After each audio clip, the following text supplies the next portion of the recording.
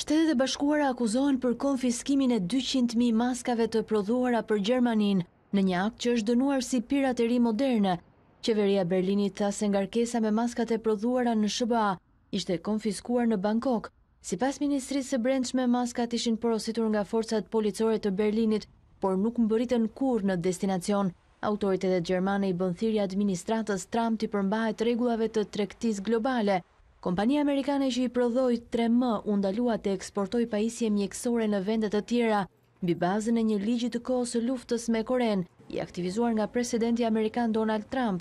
Ndërsa njoftoi hyrjen në fuqi të ligjit të luftës ditën e premte, kreu i Shtëpisë së Bardhë tha se pajisjet mjekësore nevojiteshin brenda vendit, Gjermania nuk është e vetmja që ankohet për praktikat amerikane.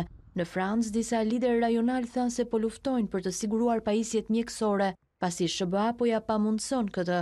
Përpjekja për të siguruar maska në këtë kohë krahasohet me gjueti thesari, ndërsa pandemia e koronavirusit përkeqësohet, kërkesa për pajisjet jetësore si maska apo respiratorë është rritur ndjeshëm. Për këtë ka kontribuar edhe deklarata e OBSH-së më herët gjatë javës, se po konsideron mundësinë për përdorimin e maskave nga të gjithë. Qendra Amerikane për Kontrollin dhe Parandalimin e Sëmundjeve udhëzoi qytetarët t'i përdorin maskat, pasi Shtetet e Bashkuara raportuan mbi një mijë e njëqind vdekje në një ditë, por presidenti Trump tha se nuk do ta bëjë këtë, pasi nuk mund ta imagjinonte veten teksa takonte personalitete të rëndësishme në Shtëpinë e Bardhë me maskë në fytyrë. Shtetet e Bashkuara numërojnë mbi dyqind e shtatëdhjetë e tetë mijë raste me Covid nëntëmbëdhjetë